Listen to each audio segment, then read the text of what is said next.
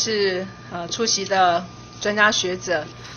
那针对今天的这个公听会哦，事实上本席听到大家就一致的共识，我们立法院依照宪法的权力分立的原则，事实上就是必须要做一个有效的立法，以及有效的去监督行政。那回应这个部分，其实事实上立法委员的武器跟工具，就是他必须要有一定强度的调查权。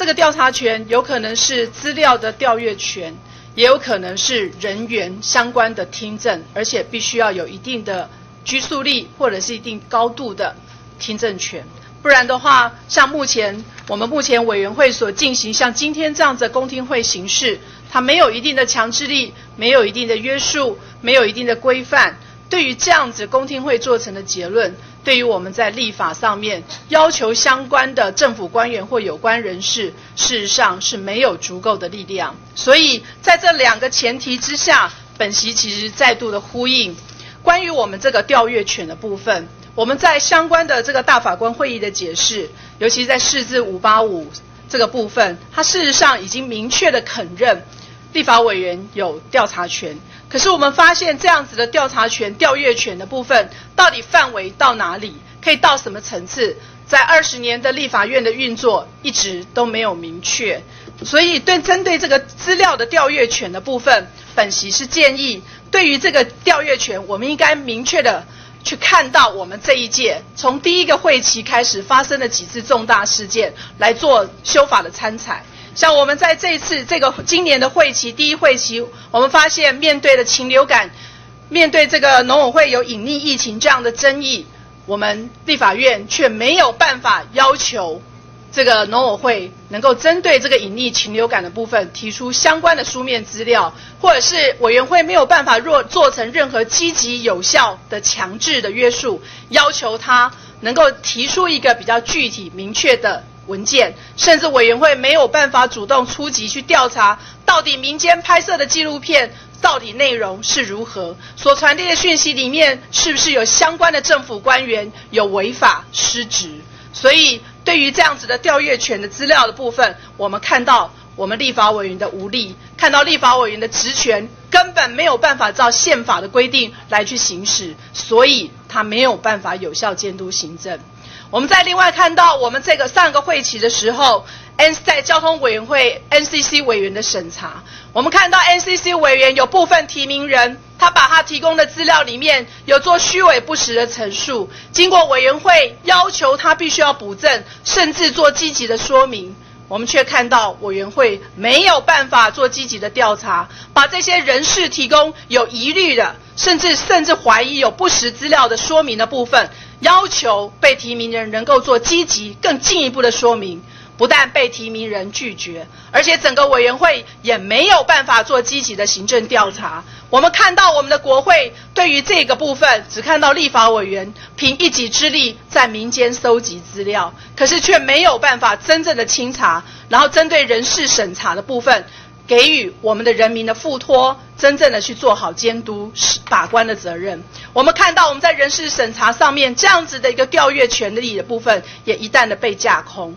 所以，针对立法委员的有效监督行政，这样子的调阅的部分，事实上在我们相关的法律，在相关的议事规则是应该被修改。那针对听证的部分，事实上本席也同意几位教授所提的。事实上，我们宪法六十七条并没有明确的限缩什么样的一个备询或者是报告或说明。我们立法院应该面对我们新的局面，重新去审思，我们到底应该如何的去让整个公听或者是听证的程序能够更完备，然后透过这个听证的合法的程序、调查的程序，能够完整的收集资料，来做一些好的立法的品质。所以，针对这个听证会的部分，我相信相关的与会人士也都已经有明确说明。本席在这里主要是要回回应，就是刚刚杨日新教授他提出来的书面资料跟口头报告里面有几点的质疑。他提出一点，他说有部分的立法委员在国会的议事殿堂利用议事规则瘫痪议场。其实本席看到这样的报告非常的遗憾。我们为什么会看到国会有？部分的委员，或是有委员，少数党的委员会利用议事规则，会背个，会瘫痪。那就是我们宪法它所授权下来立法委员职权行使的内容就是不够完备。我们立法委员其实就是没有牙齿的老虎，他连一个监察院的调查权都不如。所以，我们立法委员透过目前现在的议事规则，我们根本没有办法适当的对于我们所关心的政策，对于我们关心的一些弊案、行政权的失职不当，对于我们想要监督的部分。在个别委员会专业职权行使上面，你会发现所有的委员都是没有办法真正发挥功能，更何况这样的议事规则下列，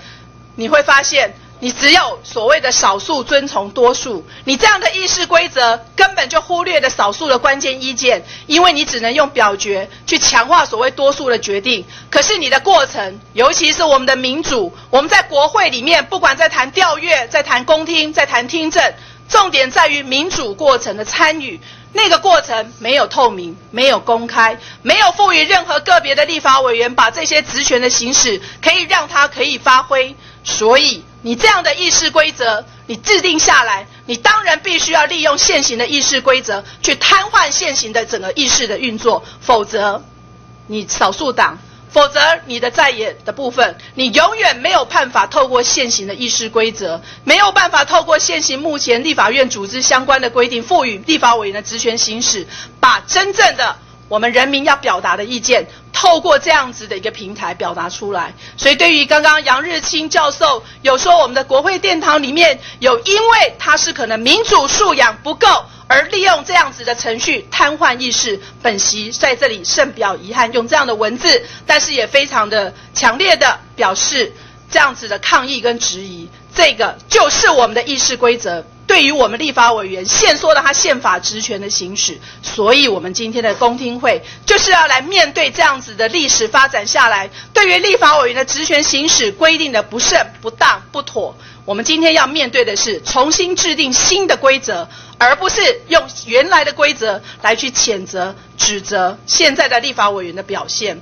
所以针对这个部分，其实是本席希望所有的与会专家学者能够给予更宽广、更开阔的意见，给予我们立法院重新去醒思宪法六十七条赋予我们立法委员职权、立法监督、权力分立的概念之下，我们该好好的如何发挥立法委员监督的部分。而不是一昧的要求所谓的少数服从多数，而却忽略了这个民主过程参与的公开。最后，在这个杨日清教授里面，他还是不断的提到了最近一次发生在教育文化委员会所谓的学生被询的事件。他在书面上面去指责当时的教育文化委员会的。呃，这个主席就是郑丽君委员认为说，他事实上并没有一个好的标准，在议事主持上面，事实上有所谓的不当的问题。事实上，本席还是提醒杨日清教授，请他把当天的这个相关的呃背景资料弄清楚。当天学生不是质询，我再一次强调，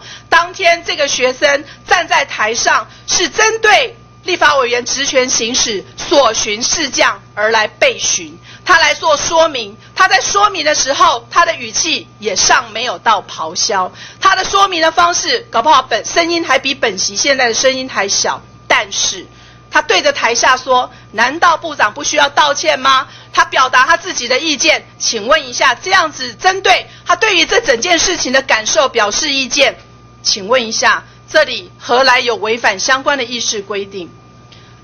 所以本席对于这个杨日清教授在这个书面的这个报告里面呢，还有这个口头报告里面暗示跟明示直指这次的这个学生在教育文化委员会去列席说明这件事情，认为有不妥，甚至破坏制度这样的质疑。事实上，本席认为这样子的意见，事实上是没有看到这次事件的真相，也希望。这个杨教授有机会的话，能够先把这个事件的背景事实弄清楚，不要一昧的指责当天的招委郑丽君委员，也不要一昧的指责这个就是学生的不对。这个部分事实上，不管是学生或者相关的所谓有关系的社会人士，他都有相关的权限，依照我们立法院的职权行使，依照宪法的赋予，他就是可以到院会，可以到会备询。所以，所以这个部分我们应该要。看到宪法的这个规范，而不是去尽量限缩，甚至针对学生的身份而予以做极度的限缩，甚至否定当天整个事实的真相。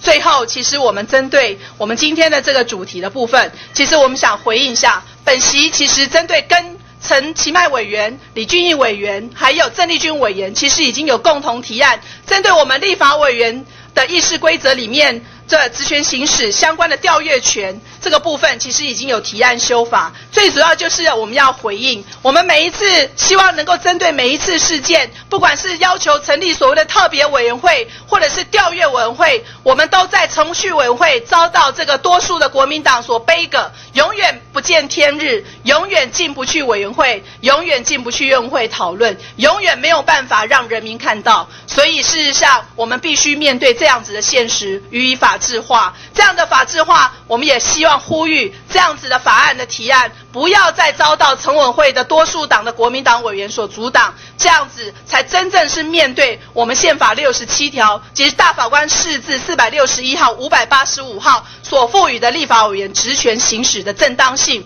也麻烦国民党委员，请你配合。有一天你会下台，有一天你会下台，你也需要一个宪法所赋予的立法院职权行使的权限。所以我们希望这样的法案能够朝野一起推动。以。